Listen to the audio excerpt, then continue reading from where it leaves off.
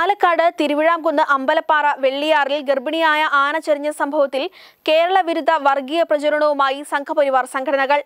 മലപ്പുറത്താണ് ആന കൊല്ലപ്പെട്ടതെന്നും കുറ്റകൃത്യങ്ങളുടെ കാര്യത്തിൽ മലപ്പുറം മുന്നിലാണെന്നും ട്വീറ്റ് ചെയ്ത് കേന്ദ്രമന്ത്രി പ്രകാശ് ജാവേദ്കർ തന്നെ പ്രചരണത്തിന് നേതൃത്വം നൽകി.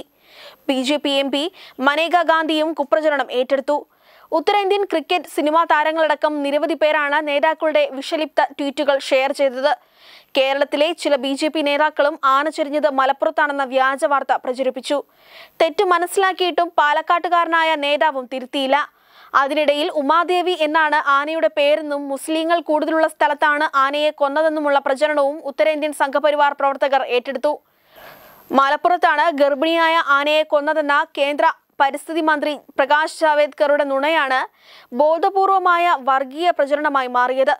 വിവാദമായതോടെ മലപ്പുറം എന്ന വാക്ക് മന്ത്രിയുടെ ട്വീറ്റിൽ നിന്ന് നീക്കി. B J P M P Maneka Gandhi ഒരു പടി കൂടി കടന്ന് മലപ്പുറം കുറ്റകൃത്യങ്ങളിലും മുന്നിലാണെന്ന് പ്രഖ്യാപിച്ചു. മലപ്പുറത്ത് റോഡിൽ വിഷം വിതറി നായ്ക്കളെയും പക്ഷികളെയും കൊല്ലാറുണ്ട്.